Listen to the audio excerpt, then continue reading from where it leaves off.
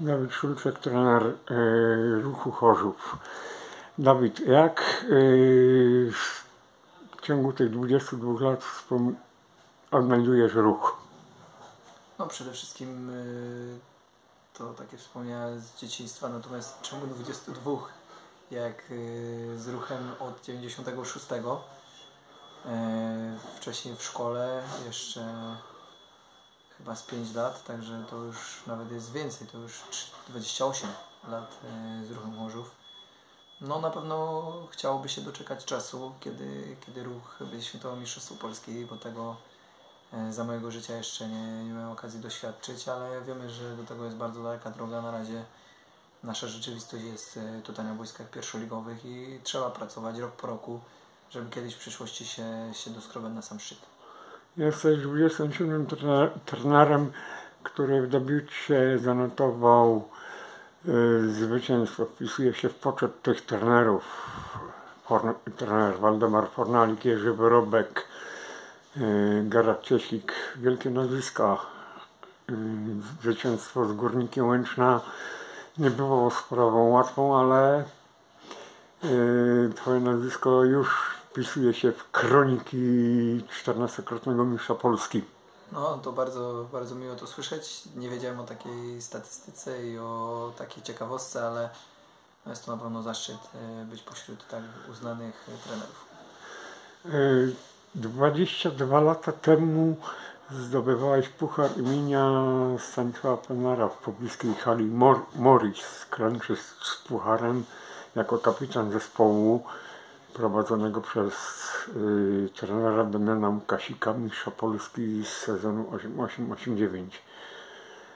Dziś y, jesteś trenerem pierwszej drużyny, ale mnie interesuje Twoje spojrzenie na, na to, jak ten ruch wówczas wyglądał, jak dzisiaj wygląda. Twoje spojrzenie trenera kibica.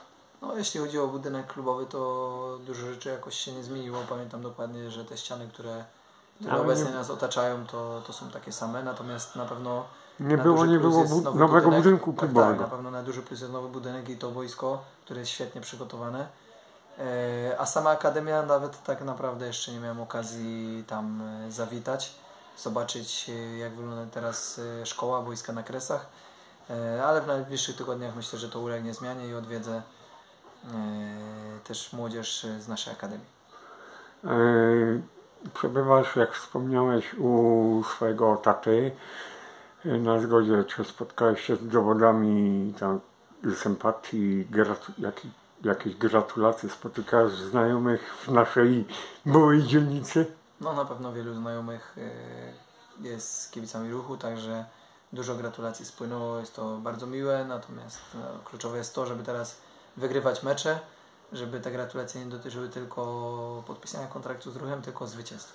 Nie sposób zapytać Ciebie o najbliższy mecz, gdzie będzie rywalizacja mistrza z uczniem. Y, W roli trenera Tyszan Artur Skowronek, który z Tobą pracował, którego byłeś asystentem w Wigrach, w Wiśle i wcześniej w Stali Mielec. No na pewno był to świetny czas, e, owocny, zdobyliśmy dużo punktów w każdym z tych klubów i pamiętam, że zarówno w Wigrach, jak i w Stali Mielec i w Wiśle Kraków, wszystkie te trzy kluby to mam dobre wspomnienia, bo Wigry najlepszy wynik w historii klubu. W Stali Mielec budowaliśmy drużynę, która sięgnęła później po awans. My już w tym czasie byliśmy też w Wiśle, a Wiś- Wisłę udało się uratować przed spadkiem i to z taką dużą górką kilka kolejek przed końcem. Te średnie punktów oscylowały tam w okolicach półtorej, nawet y, myślę, że bliżej 1,8 w Stali Mielec, także były to udane sezony z takimi małymi sukcesami. Ja pamiętam sezon 2017 na 18. E, Graliście tutaj zaległy mecz yy, przeciwko Ruchowi zremisowany 2-2.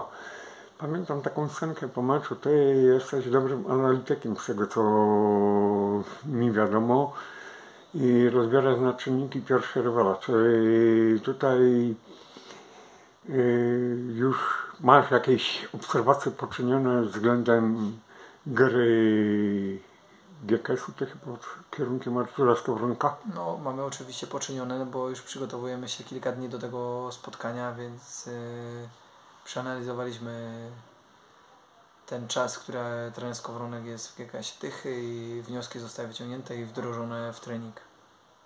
A jeszcze jedna rzecz. E, Właśnie ten mecz, e, o którym wspomniałem, poprzedzało zwycięstwo właśnie w Tychach. E, 3-0. Pamiętam gol, dwa gole bodajże Patryka Klimali, który zresztą i na cichej powtórzył swój wyczyn. I bodajże zawodnik, y, trzeci zawodnik zdobył gola, wynik 3-0 z GKS-em Tychy prowadzonym wówczas przez Ryszarda Tarasiewicza. Ryszard Tarasiewicz będzie kolejnym twoim rywalem na ławce. Trochę tych trenerskich nazwisk już odesłałeś do konta.